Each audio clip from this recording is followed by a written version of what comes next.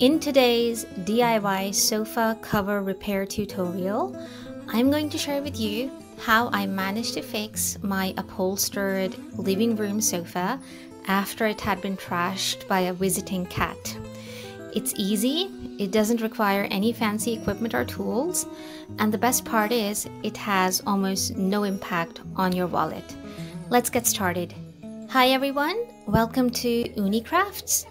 If this is your first time here, this is a crafts and home improvement channel committed to donating a percentage of all ad revenue to charities of your choice.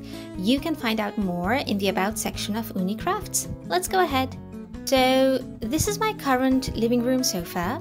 It's the only sofa we have, and we bought it pre loved or secondhand through Gumtree a few years ago. Over the past few years, this sofa has really been through its paces. I have two young kids and they have built forts with it. They continue to roll and jump and bounce and climb on it. And recently, earlier this year, our sofa also played host to a visiting kitten. She was with us for two days and two nights only, and in those two days, she managed to scratch and wreck the lower half of the sofa pretty bad. The worst damage, however, was suffered by this corner of the sofa. So, as you can see, the kitten not only scratched off the upholstery in the corner completely, she also chewed on the edges of the tear. So, today, what I'm going to attempt to do is fix this corner because as soon as you enter the room and look at the sofa, this is the first thing you notice. It's bang in front of the eye um, and it just really needs to be fixed. So that's what we're gonna do today. Let's get started. The very first thing I did is I took a pair of sharp scissors and I snipped away any thread ends sticking out around that open wound on the bottom of the sofa. So uh, the kitten had chewed up the edges of the tear that she had created and there were lots of little fibers sticking out so I just simply snipped those away. Next, I lifted off the seating cushions off the sofa, and under there, I discovered there was a tag of fabric of the same upholstery fabric that my sofa is made out of that the manufacturer had attached with the fire label. So I cut off a little piece of this tag, which would help me patch up that gaping hole in the sofa's upholstery. If your sofa doesn't have a tag of fabric underneath it somewhere, you can dig out a piece of fabric from the inside of the cushions, perhaps on the inner lining or where there might be some stitch lines on the wrong side of the stitch lines, you can cut out a small fabric piece. Next, I took a tiny piece of this upholstery fabric and I trimmed it down to slightly bigger than the pad of my thumb. The gaping hole in the upholstery is slightly bigger than the pad of my thumb and that's roughly the size that I cut this piece out, keeping it ever so slightly larger than the hole. I also made sure that I keep the offcuts or those little trimmings safe. Now I took some cheap fabric glue which is easily available at all hobby and craft stores and I applied it directly to that open hole and I used a piece of old cardboard to evenly spread it out onto that gaping hole.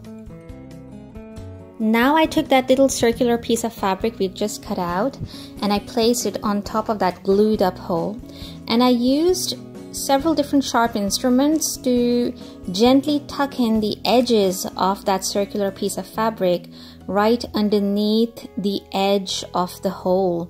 So I tried using a little penknife, I used a little stylus, I used a small little pair of scissors, whatever was comfortable, whatever was working best. I just experimented with a few different things uh, to make sure that the edges of that circular patch are tugged right underneath the lips of that open hole.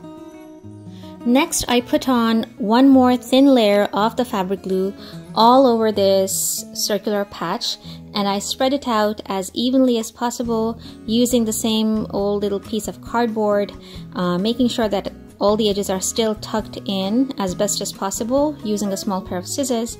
And then I wiped away any extra drips or dribbles of glue and I let the whole thing dry. Once the patch was dry, I collected any fabric offcuts which had come out of trimming that circular piece of fabric. and I took a very sharp pair of scissors and I started cutting it into tiny tiny tiny little pieces and I did this over a piece of paper so I can carefully collect all those microfibers that I was creating by snipping this piece of fabric. Before we move on, I just wanted to say a huge thank you for watching the videos here. You must have seen a bar flashing at the bottom of this video. This is the amount of money that you have helped raise for charity through Ooni Crafts and all of these charities are listed on the channel's main banner. So please do go check that out. If you want to help the cause, absolutely free of cost, you can take the One View Wonder Challenge. All you have to do is watch one more video here without skipping any ads. For further details, please do read the About section of Ooni Crafts. And now, let's move on. And by the end of it, I was left with a pile of fibers which matches my sofa exactly. Now I took my fabric glue and I started adding dollops of this glue to this small pile of fabric fibers and I started mixing it up using whatever tools I could find. I tried using a skewer, that wasn't very good, so I started using the same piece of cardboard and that worked beautifully. The idea is to convert these fibers into a sort of putty or a filler which matches my sofa exactly and this is going to help me hide all the little dents and blemishes which have been left behind after I've done patching up the sofa's hole. We're back to the sofa now and now I started applying this fiber putty to all the uh, crevices and all the holes and all the little rips that the kitten had created on the back of my sofa.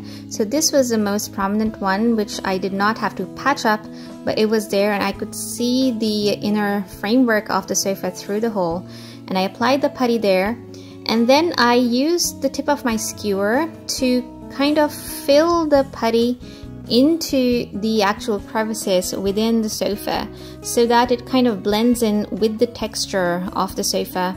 The fabric or the upholstery on my sofa is quite thick and textured so I first applied the putty using something flat and smooth like the cardboard piece and then I used the skewer to push the putty in and also create texture on the surface as best as I could.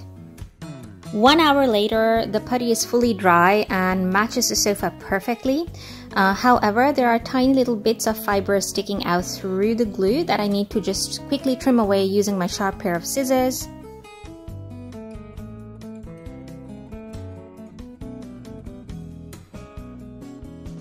And now for the finishing touches.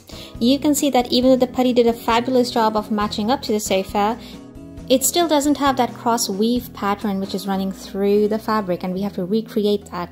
For this, I'm using my white Uni Posca pen. You can pretty much use any white acrylic pen for this.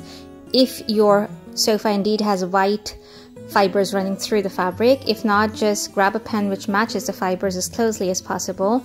I gave it a good shake and then using the tip of this saturated ink pen, I gently touched upon the cross weave pattern which I was seeing running through the fabric of the sofa.